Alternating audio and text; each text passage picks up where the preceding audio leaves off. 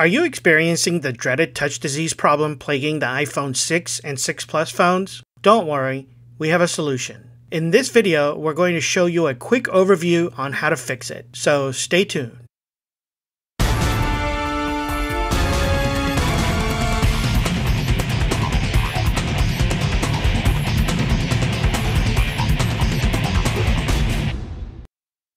Hey everyone, this is Hooman from CellularDoctor.com. Thank you for joining us. In this video, we're going to show you how to fix the iPhone 6 and the 6 Plus Touch IC problem. Most people assume that they have a malfunctioning LCD touchscreen and only after replacing it realize that they are still experiencing no touch, partial touch, intermittent touch, gray bars across the top of the screen, and even ghost touching sometimes. This is when the phone will randomly work by itself pressing different buttons and performing weird functions even though no one is touching it, hence calling it ghosting.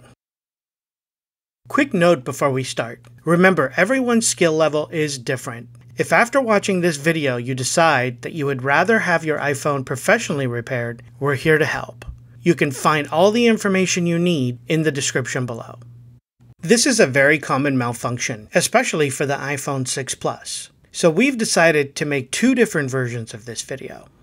This will be the shorter one of the two videos, in which we're going to give you a quick overview of the problem and show you the repair sped up with less step-by-step -step explanation. If you feel the need for additional information before trying the repair yourself, we highly suggest that you watch the full version of this video, which I have linked above and also listed in the description below. So without further ado, let's get started. Go ahead and disassemble and remove the motherboard from the housing. We have sped up the disassembly process, assuming that you are already well versed in taking the iPhone 6 Plus apart. We are going to work on the back side of the board. So let's flip the board over and carefully remove the black heatsink tape covering the Meson IC chip. Applying a little heat will help to remove it intact so that you can reuse the same one during reassembly.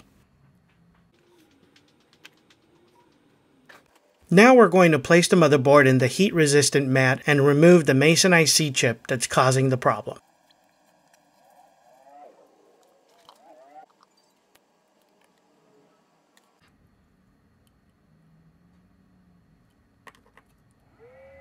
Here we apply a small amount of flux to the top of the chip.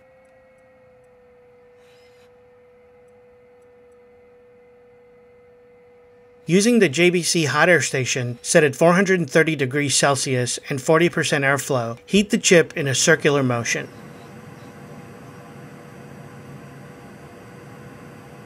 When you feel the solder balls have melted, simply lift the chip up and out. It's very important that you do not forcefully remove the chip. Be sure to give it enough heat for all the solder to be loose before you lift it.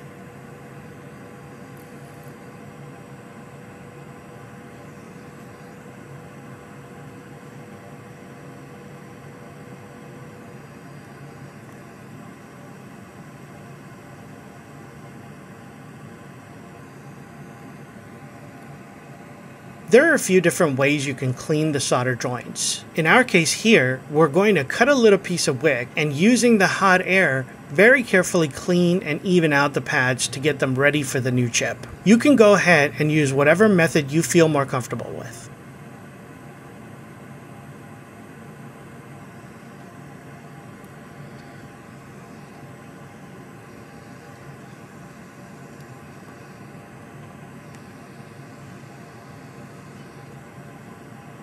Now with a soldering iron, we're going to touch up some of the pads that still need a little cleaning.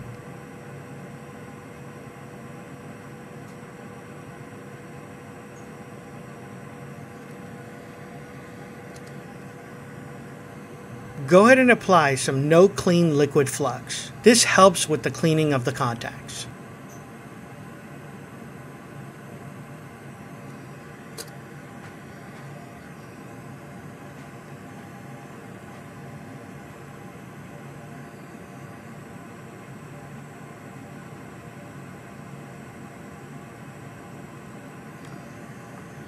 As you can see here, the M1 pad is missing, so we will need to run a wire for it.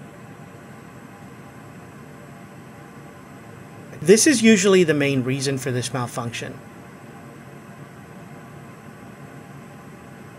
This seems to be a very fragile pad on this board, and in most cases this pad is very loose and not making good contact to the board, hence causing the touch problems.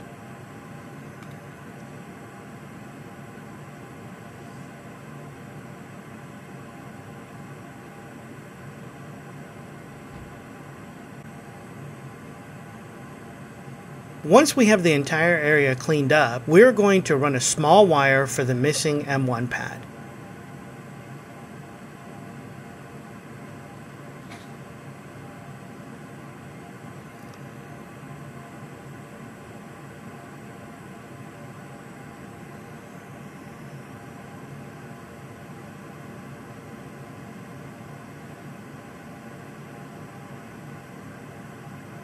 More often than not, the M1 pad is loose and very hard to see at a quick glance. And once you put the new chip in place, within weeks it will start to malfunction again. So if we feel that it's not 100% intact, we will usually repair it with a wire.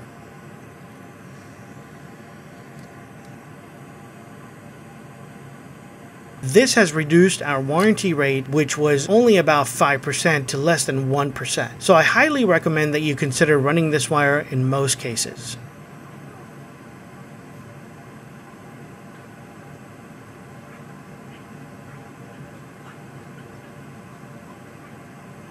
Now that we have the wire nicely secured, let's go ahead and install the new chip. Put a small amount of flux on the board and line up the chip. Then put a little more flux on top of the chip while holding the chip in place.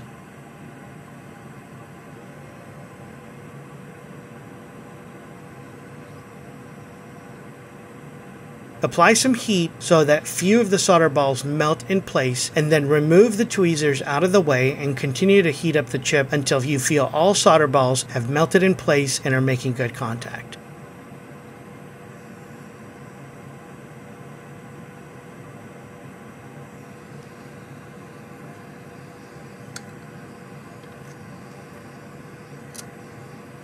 Clean up the flux and assemble the phone to test it. If everything passes the test, then remove the board and ultrasonic clean it so that all the flux is off the board. Once the board has completely dried, go ahead and reassemble it again.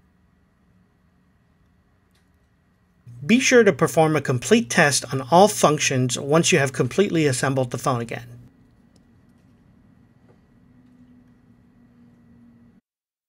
In this channel, we try to bring you specialized videos on how to keep your devices running properly and to show you solutions on how to fix common problems. We're a full service repair center and can perform any of these repairs for you as well. If after watching this video, you would rather have this service professionally performed for you by a trained technician, please feel free to contact us and we will be happy to help. If you found this video helpful, please give us a thumbs up and be sure to share this video with anyone you know that may be experiencing a similar problem with their phone.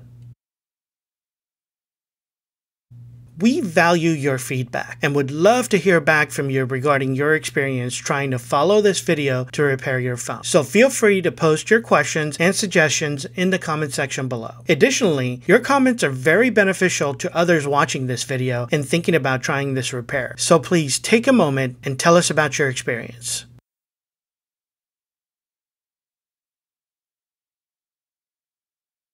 Thank you so much for watching, and if you're new to this channel, don't forget to click the subscribe button to be notified of more tips and tricks on how to keep your smartphone running efficiently.